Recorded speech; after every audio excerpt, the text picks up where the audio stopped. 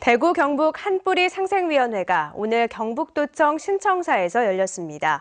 오늘 총회는 상생협력 과제 추진 실적과 주요 업무 보고, 상생발전 로드맵 실천 전략 구상 발표, 6건의 신규 과제 심의 등의 순으로 진행됐습니다.